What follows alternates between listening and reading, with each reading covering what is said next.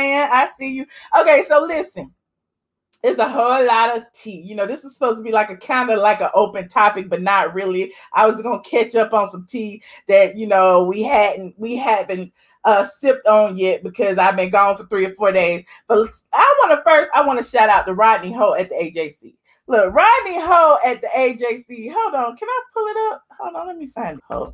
So Rodney Ho over at the AJC got an exclusive recently about Nene Leakes Swagg Boutique. You know, I like Rodney a lot. I like Rodney a whole lot. We've been in this game. Look, he's been in this game probably longer than me, but you know, we we've shared some tips occasionally. And you know, this is Atlanta. You know, I, I I seem to know everybody, and everybody seems to know me, but you wouldn't know that. You know, according to YouTube, don't nobody know me. But I digress. I digress. But shout out to Rodney Ho. But Rodney Ho uh, was up at uh, Sugarloaf Mills boutique. I mean Sugarloaf Mills, and he found out that there was a sign in the Swagg boutique, and it said it was a sale 50 to 75% off. So Rodney was like, What is going on? What is going on with the boutique? Uh Nene Leakes. He went and called Nene, and Nene told him properly, look, it is a pandemic. Okay, people are not buying clothes and shopping in the mall like they used to. It's several stores that's closed down, not just mine. And in Sugarloaf Mall, it's a whole bunch of them. I think they was talking about Nordstrom. There's a whole bunch of people. But anyway, I digress. It ain't about Nordstrom. It ain't about none of that. This is about Nene Leakes because y'all like to drag her. So we're gonna talk about her. Y'all, you know, all y'all who like to celebrate black businesses closing. But anyway, I digress. Um, Nene uh, said that the, the store isn't actually closing. Okay. Nene actually said that the store is now going to online. Now she has several other locations. She also has a boutique in Miami. She also has a boutique in, in MGM Grand in the DMV. So, you know, it's you know, shit happens. You know what I'm saying? Shit happens. But um, so according to uh Rodney Ho, hold on a second hold on a second. Let me let me let me remove this and just read it to you. Uh rodney said that uh leakes closed the sugarloaf mill store in march.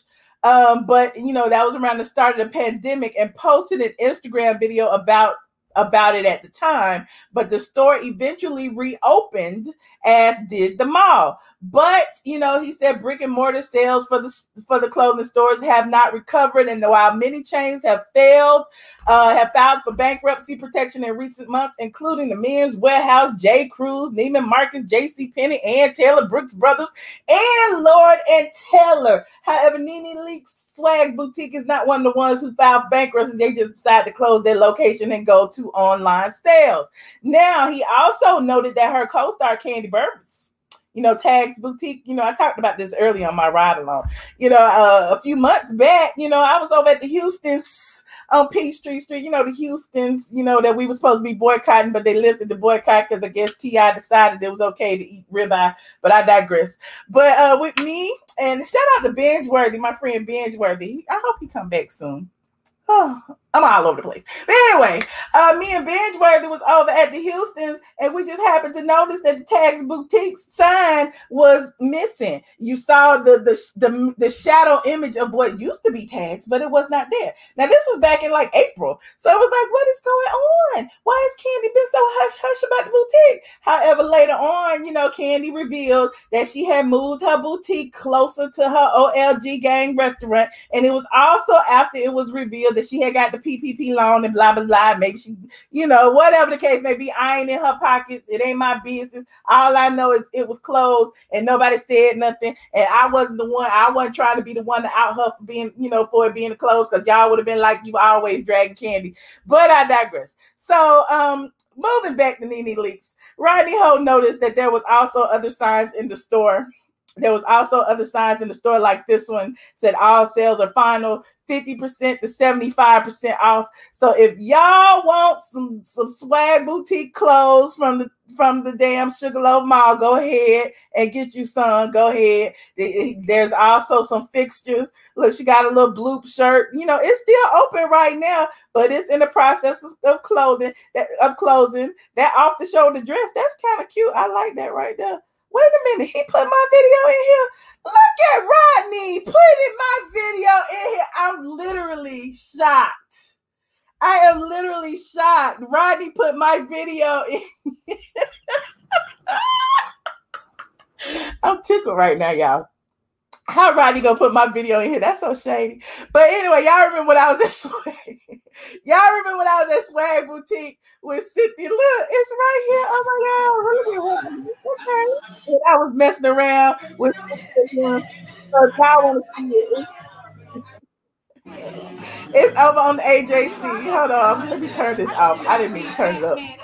But we had a good time. This was actually her Swagg boutique that used to be in Buckhead. She actually moved the Swagg boutique from Buckhead to uh Sugarloaf, and which was closer to her house.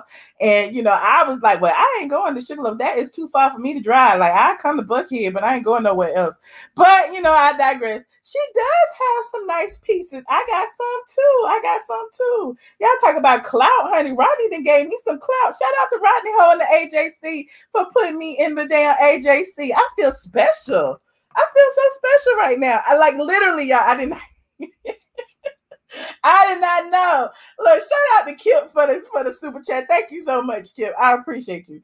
Now, you know, look, let's get away from that because who really cares? Who really cares? If y'all want to buy the clothes, buy the clothes. If you don't want to buy the clothes, don't buy the clothes. It's all good. It's all gravy. You know, Nene will survive, I'm sure. But, you know, none of us want to see any black businesses fail. So I would suggest, you know, go buy you some Tags Boutique, go buy you some Nene Leakes, go buy you some look, Porsha, her, her damn sheets and her weave, go buy you some Tanya Sam's uh, cannabis. Go buy you some what Marlo's selling. I don't know. Just just support all of you know the the black businesses out there, including small black businesses like myself. I got t-shirts for sale.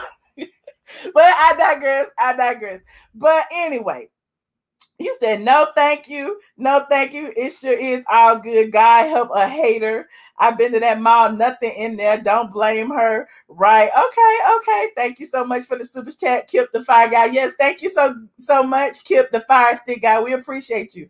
Nene Leakes is a boss, and online shopping is a smart move. Okay, Kathy, I'm with you. I look, I bought this shirt online the other day. What did you say? I be all look, leave it to me. I'm up all night long. I'll be all on the Amazon shopping for clothes. I'll be all on Fashion Nova. I'll be all on Nordstrom in the app.